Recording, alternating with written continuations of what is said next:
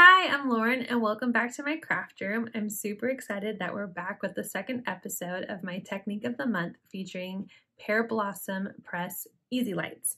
And this time I've paired them with the Kindred stamp set called Happy Afterlife to create this really cute Doom Buggy card.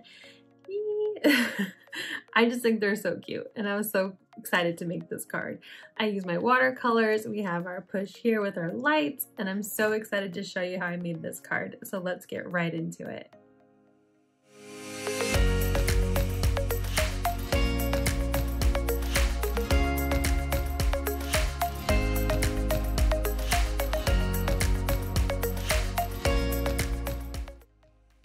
I'm starting off by stamping my image here. I already have one that is stamped with my VersaFine in black, Onyx Black ink, and I embossed it with in a clear embossing pattern that's for detailed images. I think it's called like Detail Clear. Um, I'll have the link to the embossing pattern down below in my description, along with everything else that I've used. And I'm stamping it twice because I like to have a really nice clean line. And then again, using that embossing in detail clear because these are thinner lines with lots of you know nooks and crannies in the image and I want to make sure I get a really clean embossed line. And I'm going to use my heat gun and melt that embossing powder down and I have my two images. I also stamp my images on some mixed media paper. I just bought a really big book from Michaels with a coupon and tear out pages as I need them. And I'm going to zoom in here and just show you how I colored in one of my little Doom Buggy ghosts here. So wherever I want bright, vibrant color, I'm coloring directly with my watercolor pen. And where I want it to be a little more muted or a lighter shade, I use a water brush. So this is like a pen that has water already in it with a brush tip. And I just squeeze the pen to bring out some of the water. And you'll see every once in a while I go off camera. that's because I'm wiping that brush down on my microfiber cloth to get rid of some of the water. I don't want it too heavy with water or it will be too diluted and it will take a long time to dry. So now that I have one of these ghosts colored, um, oh, can't forget my pink cheeks. Even though they're blue ghosts, I always have a little bit of pink in the cheeks for my images. And I'm going to color in all six of these ghosts. Now for the Doom Buggy, I did a water wash first, and then I'm bringing in my black watercolor marker here, but it was too light, so I'm going to go over it a couple times and try to create some depth in that Doom Buggy. And for the handle, I'm doing it just the same that I, or the lap bar, the same as I colored my images. I applied a little bit of color and diluted it up with my water brush pen. And I'm going to do the same for the back of my Doom Buggy here. Now I know for the inside of a Doom Buggy would probably be darker, but I wanted some contrast, so I'm going to pull out this kind of a bluish gray watercolor pen and I'm going to add background. So I'm applying a little bit of color and using my water brush pen to spread that color out and color the area. So I'm coloring all these little spots behind my ghosts here in their Doom Buggy and making sure I've got all of the white spots that are left in this gray color. I'm doing the same for the top here. And the reason why I colored two of these images is because I'm going to layer one on top of the other. My EZ Lights are going to shine behind my ghosts, but I want them to still be inside the Doom Buggy, so it looks like the light is shining up from behind them as well. So now that I have everything colored and I use my heat gun to, to dry it up because I'm impatient and want to keep going, I'm using a white gel pen just to add some white accents. I usually put little spots on the cheeks and then anywhere where I think light would hit my images just to give it more depth. And I'm adding this white gel pen to the three ghosts that were my favorite that I colored in because those will be the ghosts that will be on the front of this layer and then the back of the layer will be the back of the Doom Buggy so I'm adding highlights just to what would show as the back of the Doom Buggy. So now that everything is done and colored, I'm going to put some of my stuff away and I'm going to start fussy cutting out these images. I could have used my Brother's ScanNCut, but I thought with just these two big images, it wouldn't be too much of an effort to just cut them out with my little scissors here. These are my favorite scissors to cut with. You can get them through Spellbinders. Uh, I just think they're the best for fussy cutting and cutting images out like this. So I did leave a little bit of a white border around my whole image, so I'm going to do the same for both. But as these are the ghosts that are going to be in the front, I'm not going to cut around the top of the doom buggy. I'm going to cut around their heads because they're going to be popped up onto the image behind just to give a little bit of layer and depth to my ghosts and the doom buggy. So once I am done cutting this out, I realized that I didn't really like the space above their heads. So I'm going to actually cut right against their heads where the Doom Buggy, it would be the inside of the Doom Buggy. So I'm going around careful, cutting carefully to make sure I don't cut past the embossed line, just up to, like I said, the edge of the Doom Buggy. I'm glad I did this. I really like the look. Now for the more intricate part, I'm going to zoom in again and show you that I'm using my retractable knife to get into these little nooks and crannies and cutting out those gray spots in between my ghost here in the Doom Buggy. And I feel like this is probably an added extra step that isn't completely necessary, but I like when the lights turn on that this light shines through in these spots. It gives them, you know, that they're individual character sitting inside of the Doom Buggy. So I'm going to go through and finish cutting out all those little spots and anywhere where I kind of cut a little too much into the embossing line, I just took my black watercolor marker and from the back side added a little bit more black to the edge. And the reason why I do it from the back is because if I accidentally slip with my marker. I don't streak a black line across my image after it's all beautifully colored and cut. It'll be on the back and not as noticeable. So now that this is finally done, it did take some time, I'm really happy how they layer on top of each other and I can move on to the next part of my card, which will be the background. Now for the background, I cut this large piece of the same mixed media paper and I'm gathering some Distress Oxides in purple and I'm going to also grab my black one later and I'm going to create a background. Now if you've ever been on the attraction where doom buggies are used, they uh, the background wallpaper for most of the attraction is purple with black. So I thought I would use purple as my background here. I thought it was also a really good color to go with the teals and blues of my ghosts.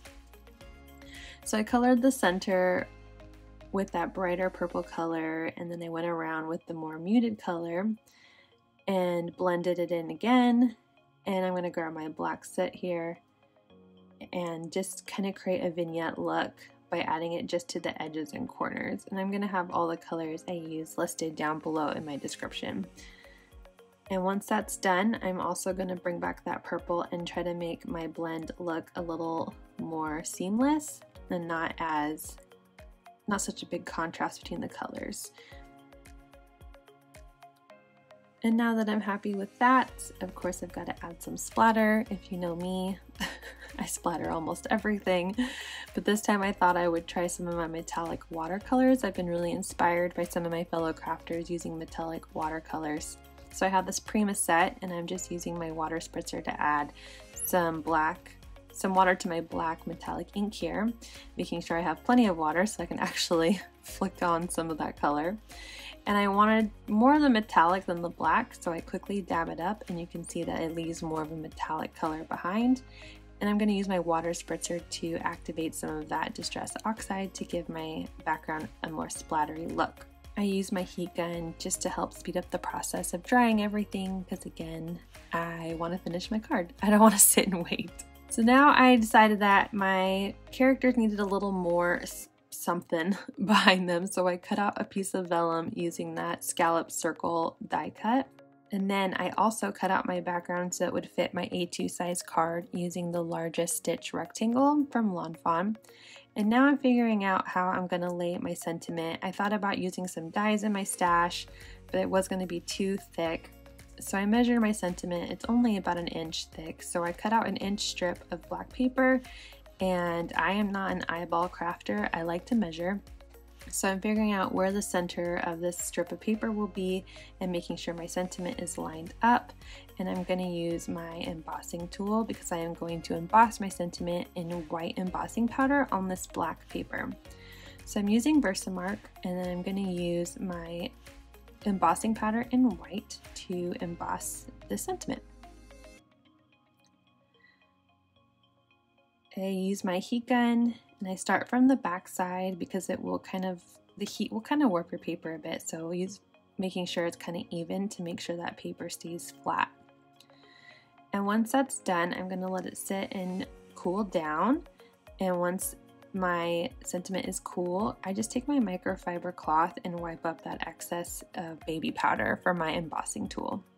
It is black paper, so it's kind of noticeable, where if it were white paper, it wouldn't be as noticeable. So now I need to trim down my sentiment to four and a quarter. And I don't know if you saw, I did some calculations real quick on my watch to where I needed to cut this paper. That way it's nice and even. I am a bit of a perfectionist. I think it's my type A brain. I like to measure. I'm not an eyeballer. I have a card base cut to create an A2 top folding card and I'm going to start layering everything out because I'm going to finally put my lights into my card now that all of my pieces are cut and ready to go. So I'm figuring out the layout. I know I want my little buggy here to sit on my vellum and be kind of the, where the brightest part of the card is. And I also want to have my sentiment strip. And I realized, of course, after I put everything away, that I forgot to stamp push here to let the card receiver know where to push so the lights turn on. So I'm doing that real quick with a Lawn Fawn Sentiment and that white embossing powder. And I realized I got a little bit of powder melted where I didn't want to, so I just used my retractable knife to kind of scrape that away.